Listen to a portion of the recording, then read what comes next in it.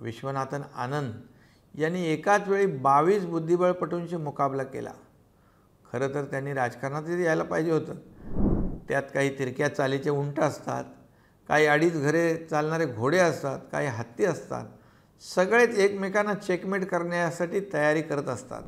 गेल्या एक वर्षापासून मलाही चेकमेट करायचा प्रयत्न अनेक जण करतायत पण त्यांचं स्वप्न काही साकार होत नाही. आजकाल राजकीय विरोधकांशी लढा द्यायचा तर आमच्यासारख्या नेत्यांना खरं तर बुद्धिबळ खेळण्याची फार गरज आहे.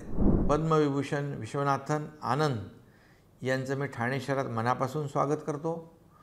Rotary Club of Thane Midtown आणि अपस्टेप अकॅडमी यांच्या संयुक्त विद्यमाने आयोजित केलेल्या या कार्यक्रमात विश्वनाथन आनंद यांनी एकाच वेळी बावीस बुद्धिबळपटूंशी मुकाबला केला. खरं तर त्यांनी राजकारणातही यायला पाहिजे होतं. कारण आम्हालाही एकाच वेळी कितीतरी विरोधकांशी मुकाबला करावा लागतो. त्यात काही तिरक्या चालीचे उंट असतात काही अडीच घरे चालणारे घोडे असतात काही हत्ती असतात. सगळेच एकमेकांना चेकमेट करण्यासाठी तयारी करत असतात.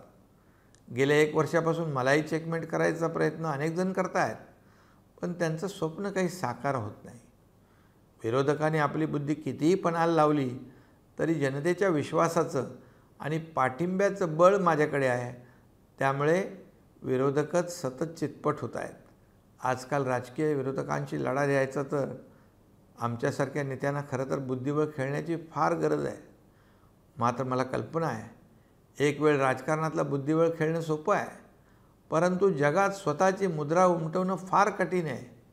विश्वनाथन आनंद यांनी ते फक्त एकदाच नव्हे तर अनेकदा साध्य केलं आहे ते पाच वेळा जागतिक विजेते ठरलेत.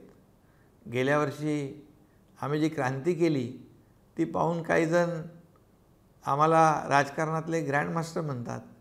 पण खरे ग्रँडमास्टर हे विश्वनाथ आनंद हेच आहेत. आणि हो आमच्या ठाण्यातही आणखी एक ग्रँडमास्टर आनंद होते.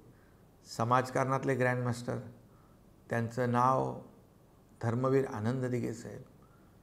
मिलिंद बल्लाळजी इथं आहेत.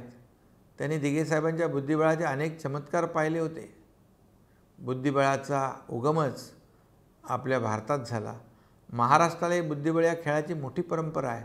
मला वाटतं महाराष्ट्रातून आतापर्यंत सात ग्रँडमास्टर झाले आहेत. त्यात प्रवीण ठिपसे अभिजित कुंटे तेजल बकरे वैभवी सूर्य अशी काही नावं आहेत. खाडीलकर भगिनींची कामगिरी मोठी आहे. क्रिकेटसारख्या खेळांकडे बहुसंख्य मुलांचा ओढा असताना विश्वनाथन आनंद यांच्यासारख्या महान खेळाडूंनी बुद्धिबळाला ग्लॅमर प्राप्त करून दिलं हे अत्यंत महत्त्वाचं आहे.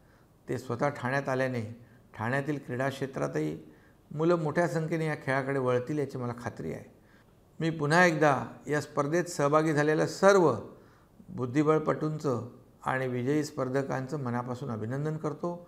विश्वनाथन आनंद आपल्या ठाण्यात आले त्यांचे मनापासून आभार व्यक्त करतो आणि रोटरी क्लबला पुढील यशस्वी वाटचालीसाठी शुभेच्छा देतो. धन्यवाद. जय हिंद. जय महाराष्ट्र.